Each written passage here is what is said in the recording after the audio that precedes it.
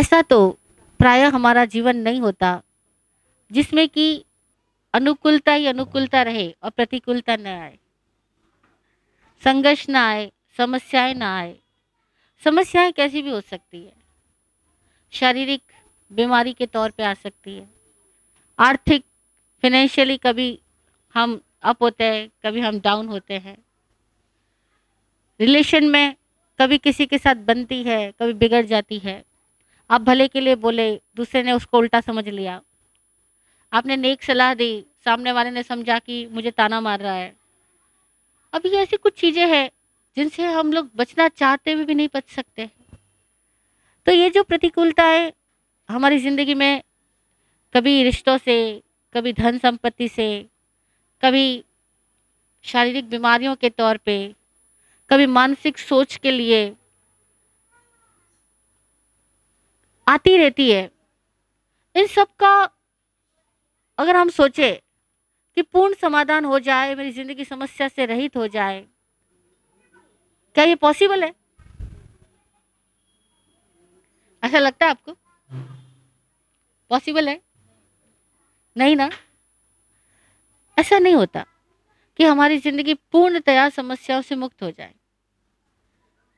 अगर हम अपने आदर्श पुरुष भगवान महावीर की ज़िंदगी को देखें, बचपन के लिए उनका ज़्यादा उल्लेख नहीं मिलता सूत्रों में।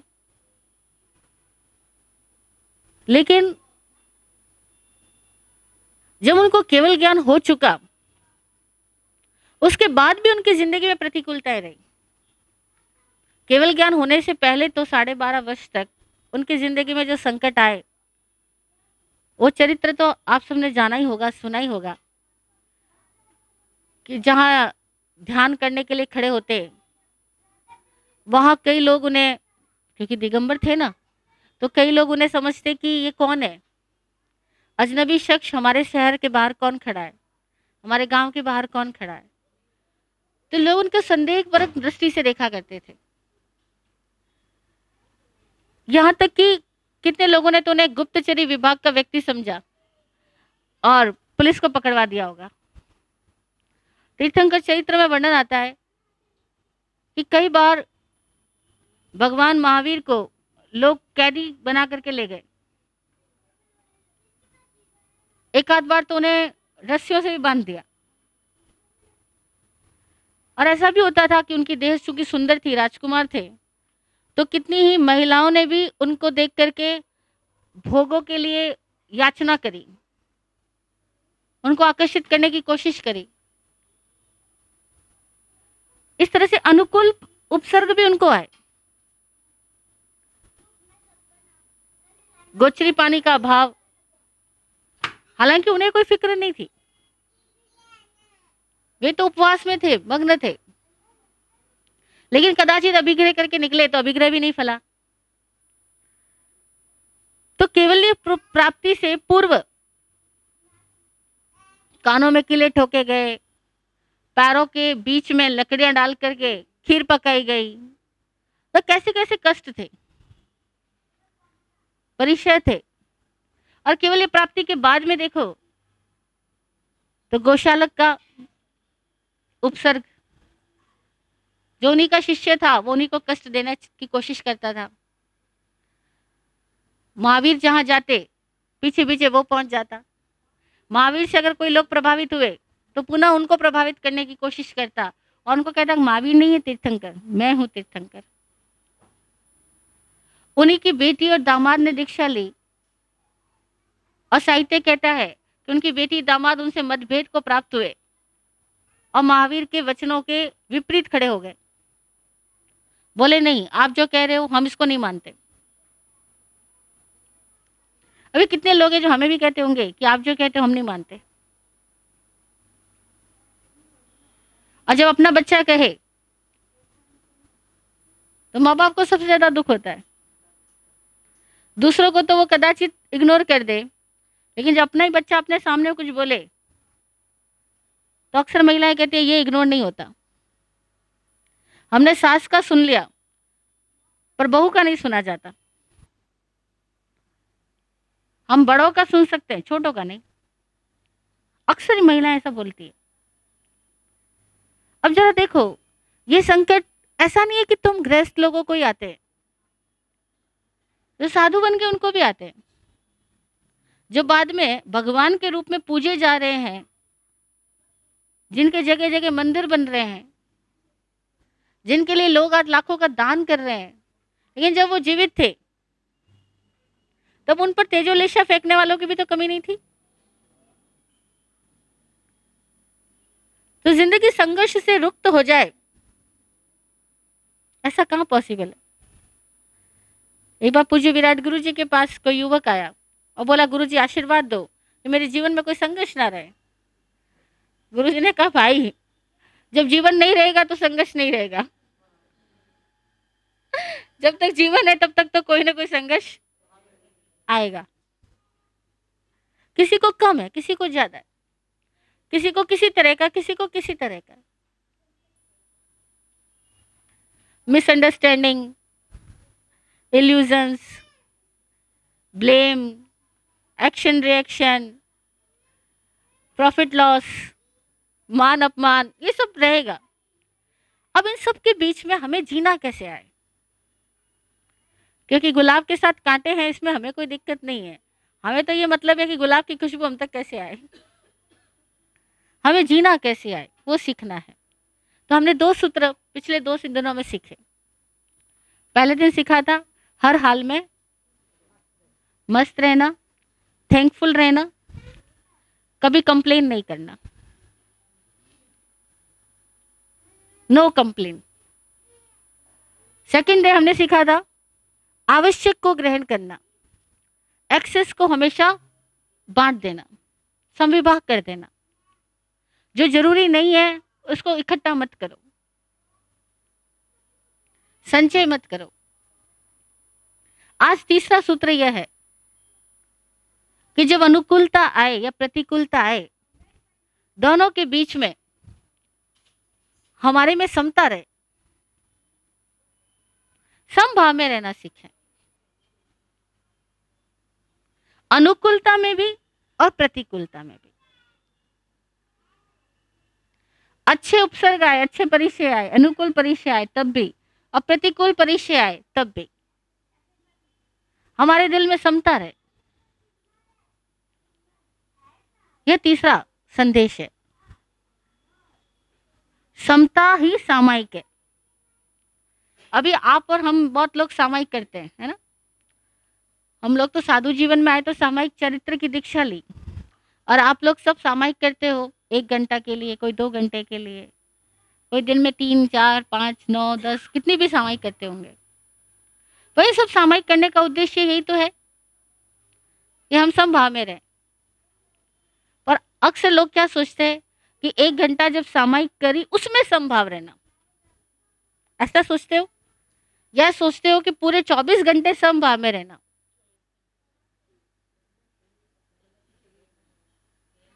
जनरली लोगों की धारणा यही है कि सामायिक का मतलब है समभाव में रहना। और कब रहना? जब हमने सामायिक लेकर बैठे तब समभाव में रहना। अरे भैया, जब सामायिक लेकर के बैठे हो, तब तो समभाव में रह ही लोगे ना? तब मुश्किल का है। तब तो अपने आप को हमने वर्ल्डली अफेयर से डिस्कनेक्ट कर ही लिया है। अभी तो आप बच्चों से बातें नहीं करोगे। सास बहू कोई एक दूसरे को कुछ कहेगी नहीं, कोई एक दूसरे को ब्लेम कुछ करेगी नहीं। तो अभी तो समता रह सकती है। लेकिन सामायिक का मतलब ये नहीं है कि उसे एक घंटे में ही संभाव में रहना। सामायिक का मतलब है total life twenty four into seven हमेशा संभाव में रहना। ये जो एक घंटा सामायिक करते हैं, वो तो इसलिए करते हैं कि मैंने कहाँ कहाँ संभाव से चुका वहाँ वहाँ अपने आप को वापस व्यवस्थित कर लो। जैसे हम दिन भर में नहाते कितनी देर है? एक बार। पाँच से दस मिनट। किस लिए? बाकी टाइम फ्रेश रह सके। इसीलिए ना, पुरानी सारी गंदगी मैल निकल जाए और अब मैं वापस फ्रेश रह सकूँ। इसीलिए ना आया खाना कितनी बार खाते हैं? दो बार। कितनी देर? पाँच मिनट, दस मिनट, पंद्रह मिनट, बस। किस लिए? ताकि बाकी टाइम एनर्जी बनी रहे। खाने से जो एनर्जी मिलेगी, वो बाकी टाइम बनी रहे, इसलिए हम टेन मिनट्स का लंच या ब्रेकफास्ट या मील कुछ भी लेते हैं, है ना? इसी तरह से जो ये एक सामयिक करते हो आप, वो एक सामयिक इसलिए है कि बाकी पूरी टाइम समता बनी रहे। सादगी बनी रहे। सहजता बनी रहे। स्वाभाविक दशा बनी रहे। बाकी पूरी टाइम चित्त में शांति रहे। उसके लिए हम एक घंटा सामयिक करते हैं। उस एक घंटे की सामयिक से बाकी शेष आने वाले और घंटे मेरे समता में रहे। अभी ऐसा होता है क्या? जनरली सामयिक करने वाले ऐसा ही सोचते हैं उस एक घंटे में सामयिक में रहना है। उस एक घंटे में समता में रहना है। और कहते हमारा सब एक घंटा में मौन कर लेती हूँ।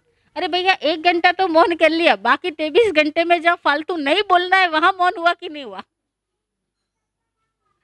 अभी एक घंटे में तो आप लड़ाई नहीं करोगे, वैसे भी नहीं करोगे, लेकिन बाकी तेईस घंटे में आपके बिस्तर पर कोई बच्चा गंदे पैर लेकर के चढ़ गया, अभी तभी क्या करोगे? तभी क्षमता नहीं रहेगी ना? और आपके किचन में आकर के या घर में आकर के किसी ने कुछ सामान में बिखेरा कर दिया, कुछ फैला दिया, तब क्षमता नहीं रहेगी। आपकी नई ड्रेस किसी ने प्रेस करते समय जरा सी जला दी। अभी क्षमता नहीं रहेगी। आप महँगी क्रॉकरी लेकर आए और उसका किसी ने मिस यूज़ कर दिया या फोड़ दौड़ दिया, तब कितना गुस्सा आएगा? हमें अपनी व्यवस्थित चीज़ों को कोई जरा अव्यवस्थित कर दे, हम एकदम क्रोध से बढ़ जाते हैं। मैंने यहाँ सामान रखा था, उठाया किसने? बिना पूछे क्यों उठाया? हाथ ही क्यों लगाया? एकदम से हमारे अंदर फ्लेम उठती है। हर एक बात पे जरा कोई हमारे बारे में बोल दे, कोई कुछ कह दे, कोई कुछ कर दे, जो हमारे मन माफिक ना हो। जब मन माफिक ना हो, तब अपने आप को याद दिलाना कि मुझे सामायिक में रहना है। मुझे समता में रहना है। मेरे जीवन का इष्ट क्या है? लोग पूछते हैं, ज़िंदगी किस लिए किस लिए? मैं क्यों जी रहा हूँ? मेरे को क्या करना है इस ज़िंदगी में? मुझे क्या पाना है इस ज़िंदगी में? क्या करना है? क्या पाना है? और कुछ भी कर लो, कुछ भी पा लो अल्टीमेटली क्या? कितना भी बढ़िया खाना खा लो, खाने का उद्देश्य तो पेट भरना ही था ना? और एनर्जी गेन करना ही था? कितने अच्छे कपड़े पहन लो, कपड़े का उद्देश्य तो तन ढकना ही था। और सर्दी गर्मी से अपना बचाव करना ही था। तो इन सबका कुछ तो उद्देश्य होगा ना? तो हमारी ज़िंदगी का उद्देश्य क्या है? अल्टीमेटली हमारा इष्ट क्या है? समता में रहना। धर्म का सार समता है।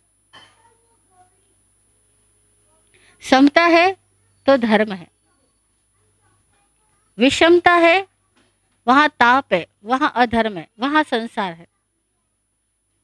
विषमता का नाम शैतान समता का नाम भगवान। समता है तो भगवान है। समता नहीं है तो फिर भगवान नहीं है। और समता ऐसी चीज़ है कि कोई दूसरा हमें सिखा सकता है क्या? कोई दूसरा ज़बरदस्ती रखवा सकता है क्या समता?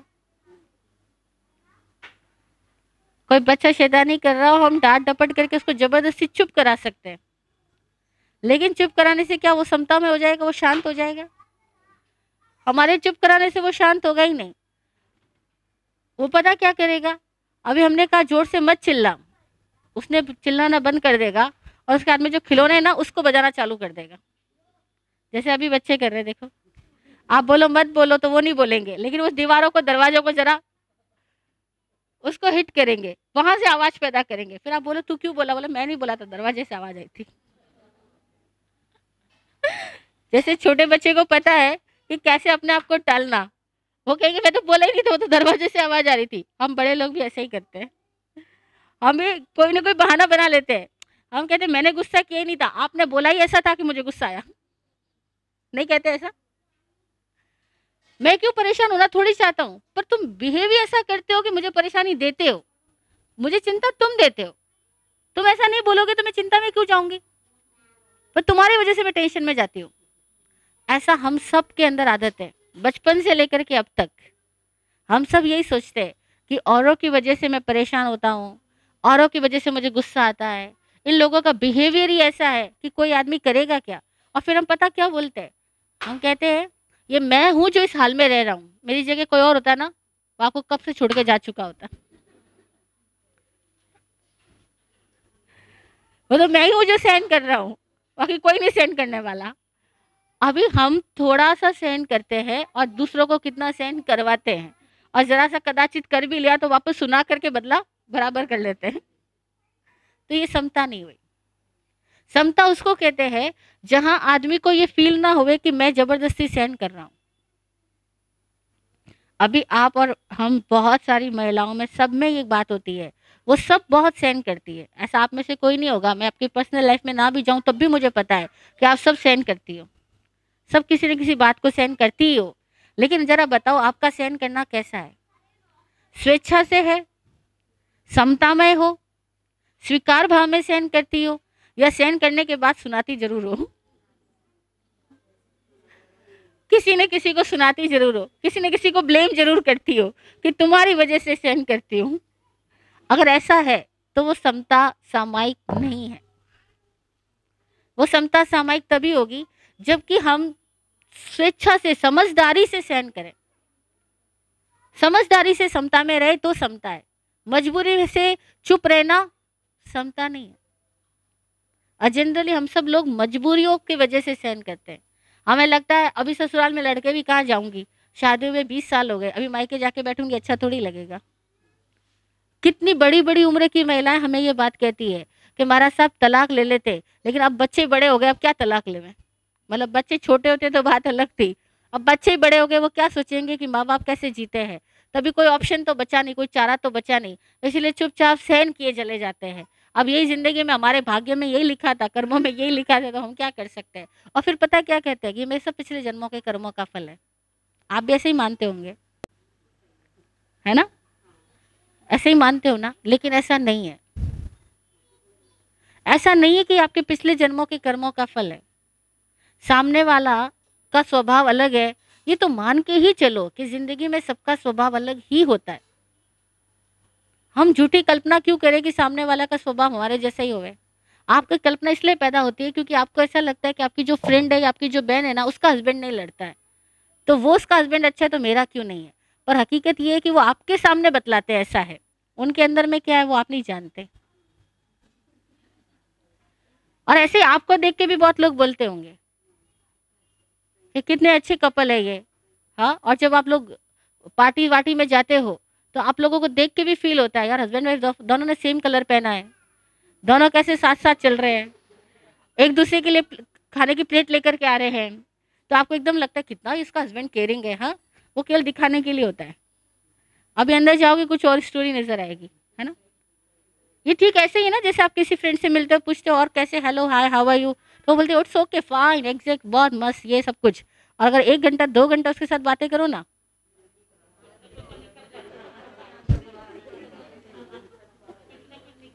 दो घंटे बाद कुछ और बातें निकलती है। वो फ़र्स्ट लाइन आप तब कंपेयर करना कि पहले बार तो बोला था एकदम मस्त फाइन ये, वो। उसके बाद में क्या होता है? बाद में कहते यार, ये प्रॉब्लम है, वो प्रॉब्लम है, ऐसा है, वैसा है, कोई सुनता ही नहीं है, कोई समझता ही नहीं है, कोई मानता ही नहीं है। ऐसा लगता है पता नहीं ज़िंदगी जी किसके ले रहे हैं। फिर एक ही बात समझ में आती है, चलो यार, अपने बच्चों के लिए जी लो। ठीक है ना? ऐसा हमने बहाना बना रखा है। ये सब चीज़ें इसीलिए है क्योंकि हमारे में समझदारी नहीं है। पहली बात कुछ फैक्ट्स है लाइफ के, कुछ फैक्ट्स उन फैक्ट्स को समझो। उसमें एक फैक्ट ये है कि यहाँ हम सब अपने अपने अतीत के अधूरे कल्पों की वजह से पैदा हुए हैं। हम सबके अतीत जन्मों में कुछ इच्छाएँ बाकी रह गई। कुछ कामनाएँ अधूरी रह गई। कुछ हमारे संकल्प थे जो हम वहाँ पूरे नहीं कर पाए। हम वहाँ समझदार नहीं हो पाए थे। हम उन कक्षाओं में पास नहीं हुए थे, इसलिए दोबारा इन कक्षाओं में आए हैं। अब देखो, कोई भी बच्चा स्कूल के अंदर एक ही क्लास में दोबारा कब जाता है? जब वो परीक्षा में फेल होता है। उसके बिना कोई परीक्षा में अगर फेल ना हो तो दोबारा उस क्लास में उसको कौन बैठाएगा? प्रकृति का नियम है। तो आप इस शादी वाली क्लास में आए, बच्चों वाली क्लास में आए, सास बहू वाली भूमिका में आए, इस मूवी में आपको ये रोल मिला है। इसका मतलब ये हुआ कि पिछले रोल में आप पास आउट नहीं हुए थे, इसीलिए इस रोल में दोबारा आए हो। Hundred percent. और अभी भी पास आउट नहीं होगे ना, फिर आना वाले हो। फिर आपको ये सारे रोल प्ले करने पड़ेंगे। तो समता उसी में आएगी जिसमें समझदारी आएगी। और समझदारी के लिए पहला फैक्ट जानो कि आप किसी और की वजह से नहीं सहन कर रहे हो। आप इस क्लास में खुद ही आए हो। हम सब खुद ही आए हैं।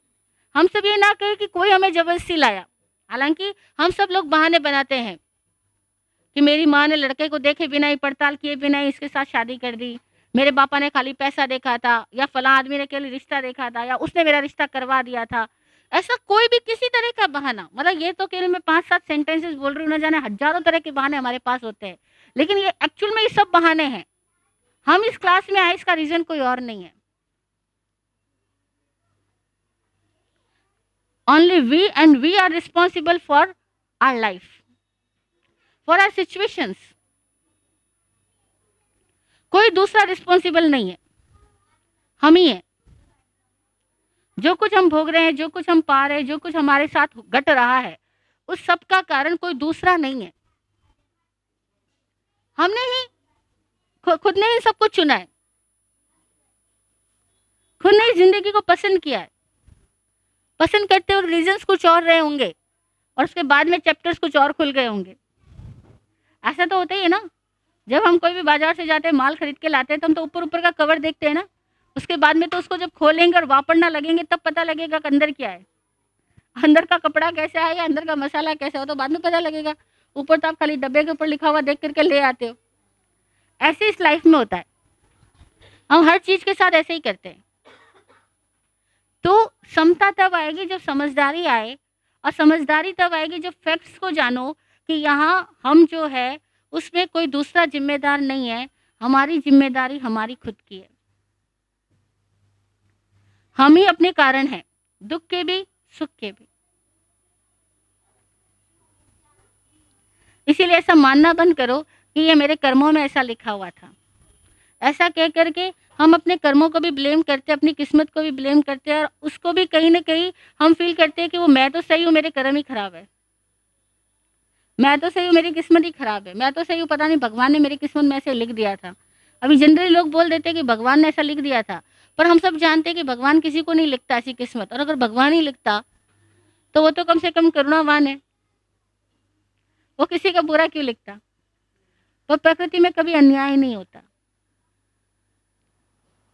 अन्याय नहीं होता है। हमारे साथ जो हुआ, कभी ना कभी हमने उसको किसी न किसी अन्य रूप में भी चाहा होगा, लेकिन चाहा था, इसीलिए हुआ है।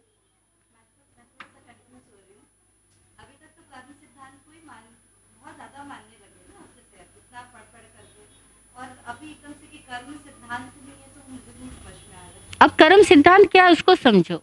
क्योंकि अब तक हमने ये माना कि भाई जो हमारे साथ होता है, सब कर्मों की भूल है, ठीक है? लेकिन पता है, इस सेंटेंस को सुनने के साथ में हमारे दिमाग में पिक्चर क्या बनती है? इमेज क्या बनती है? हमारे दिमाग में एक कॉन्सेप्ट पैदा होता है कि I am right but my past karma was wrong ठीक है? तो हम उसमें रिस्पॉन्सिबिलिटी अपनी लेते हैं या कर्मों पे डालते हैं?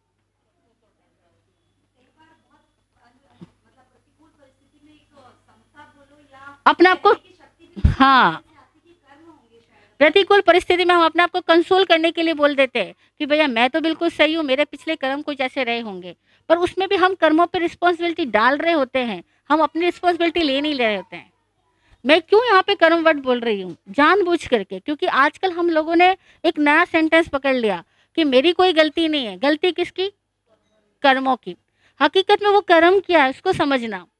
कर्म का मतलब ही है हाँ मैं समझ गया आपका पॉइंट आप इसको और क्लियर समझना।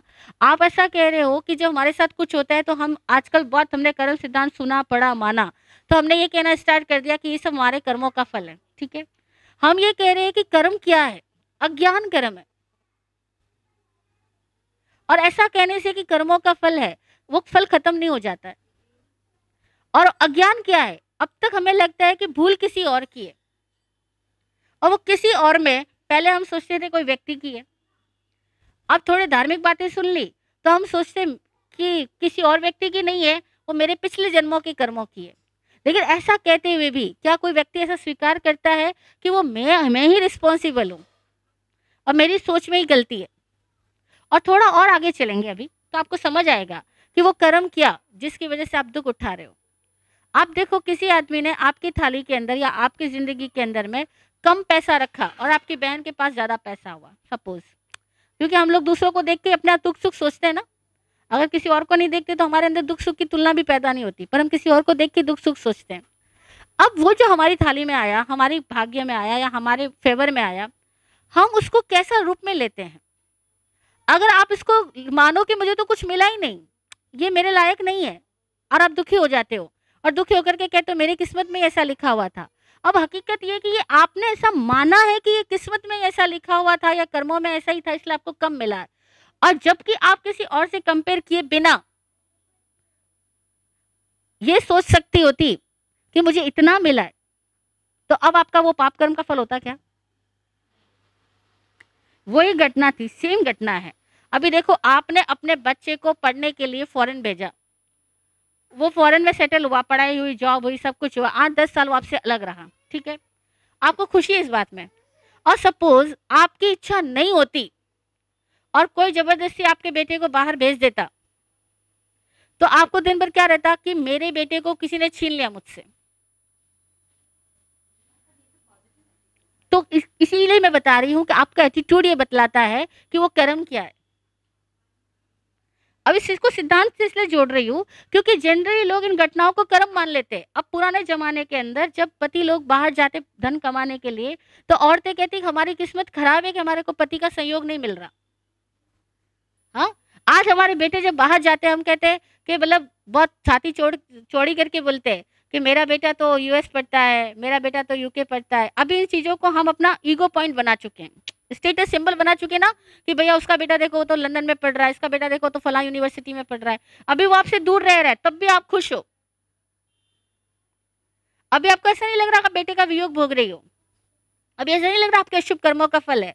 लेकिन सपोज़ किसी मजबूरी के वश में आपके बेटे को धन कमाने के लिए बाहर जाना पड़ता और आपसे दूर रहना पड़ता। तब आप रोती और कहती, मेरी किस्मत में ऐसा क्यों है कि मेरा एक बेटा वो भी मेरे पास नहीं है? लेकिन अभी नहीं बोलोगी, क्योंकि अभी वो स्टेटस सिंबल बन चुका है। तो वट इज़ कर्म कर्म फ़िज़िकल घटना नहीं है। कर्म हमारी धारणा ही तो हुई, हमारी अपनी सोच ही तो कर्म हुई। हम अपनी सोच से ही उसको कर्म का नाम दे रहे थे।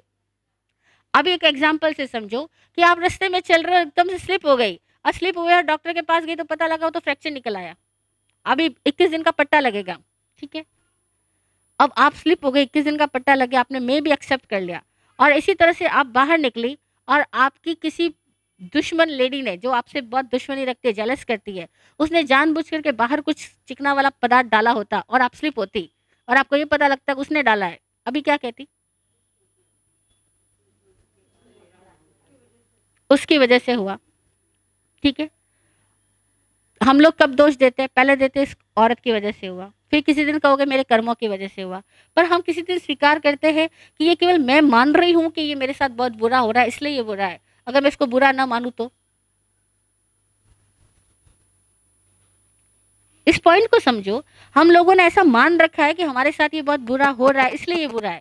अगर हम इस स्वभाव को जान लें, स्वभाव को जान लें कि इसमें बुरा जैसा कुछ भी नहीं है, और अच्छा जैसा भी कुछ नहीं है अभी बेटा आपसे दूर रह रहा है दस साल की पढ़ाई के लिए बाहर गया हुआ है इसमें आप अच्छा भी मान सकती हो आप बुरा भी मान सकती हो और आप अच्छा बुरा कुछ भी ना मानो और जानो।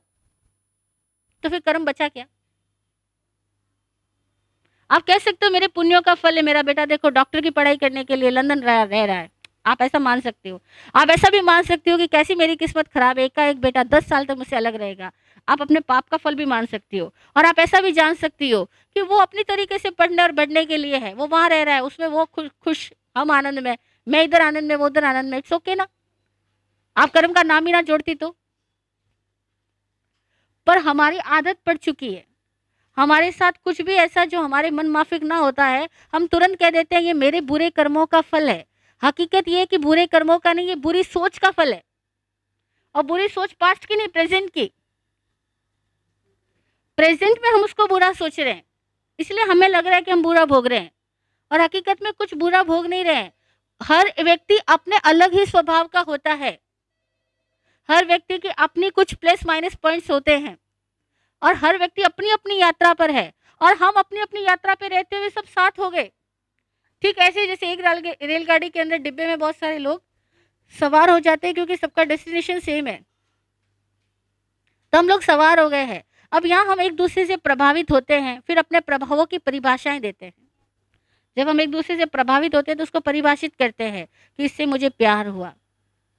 ये तो ऐसा लगता है पिछले जन्मों का मेरा बहुत कोई नज़दीकी प्रेमी रहा होगा।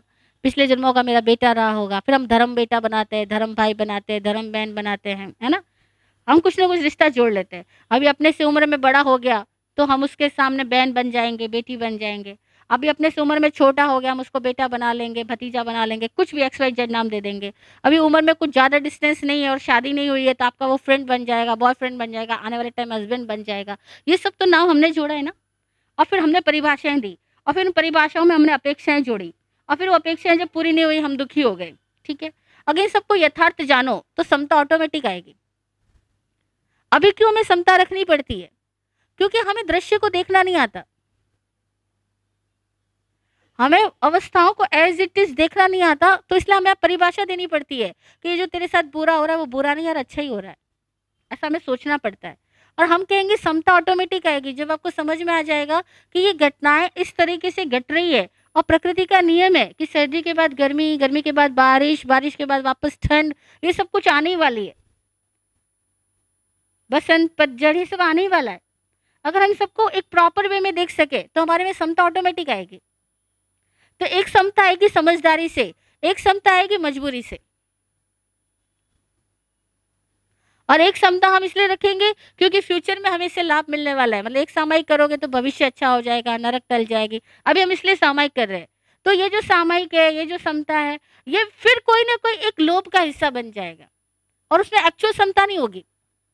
इसलिए तो देखो ना, जरा जो ज़्यादा सामायिक करता है, उसको भी एक तरह का घमंड आ जाता है कि मैं धार्मिक कितनी हो देखो सामने वाला देरानी को इतनी फुर्सत मिलती है, एक सामायिक नहीं करती मरा साहब, और मुझे देखो ना, मैं इतनी सामायिक करती हूँ। हाँ? अब ऐसी बातें सुनने को नहीं मिलती क्या? मिलती है ना? अब ऐसा क्या है उसमें? ये तुम्हारा शौक है। दूसरे वाली देरा नहीं बोलती, भाई, इनका शौक है, इनको किताबें पढ़ना अच्छा लगता है, मुझसे नहीं पढ़ा जाता। मुझे तब अच्छा लगता है कि घर में कोई आए, भूखा ना रहे, कोई काम अधूरा ना पड़े। नौकरों पे डिपेंड ना रहना पड़े। मैं अपना सब काम अपने हाथ से करना मज़ा मानती हूँ। और जेठानी जी को ये अच्छा लगता है कि वो कुछ काम ना करे, वो अपनी सामान लेके बैठी रहे। अब उनका शौक है।